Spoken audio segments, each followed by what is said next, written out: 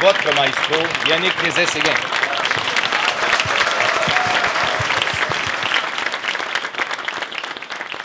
Alors, c'est toujours euh, euh, un grand moment de lancer une nouvelle euh, saison. Et en plus, aujourd'hui, vous le voyez, il y a des bouquets de ballons partout. C'est une fête, c'est le 35, la 35e saison qui va nous amener au 35e anniversaire. Et c'est le thème de cette saison, la musique est une fête. L'acte de faire de la musique, c'est un acte de joie. L'acte de partager, c'est un acte de joie et donc une fête. Et c'est ça l'expérience OM. Euh, et euh, 35 ans, c'est le moment où on commence à s'affirmer comme personnalité, vraiment.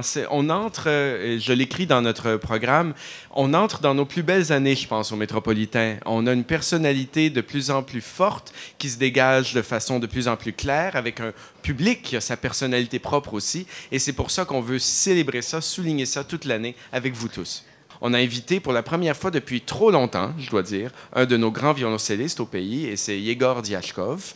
Euh, et Yegor est ici avec nous, et non seulement il est ici, mais au lieu d'écouter un extrait, Françoise, on va avoir un extrait euh, live, comme on dit.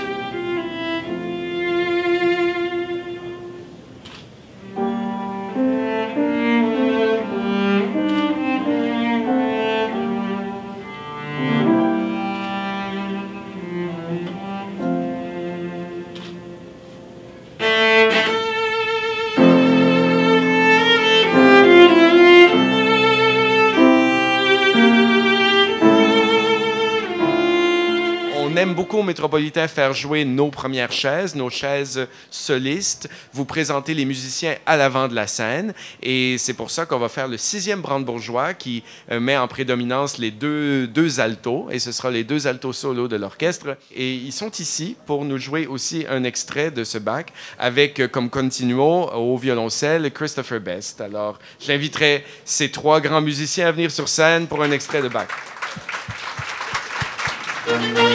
Bach.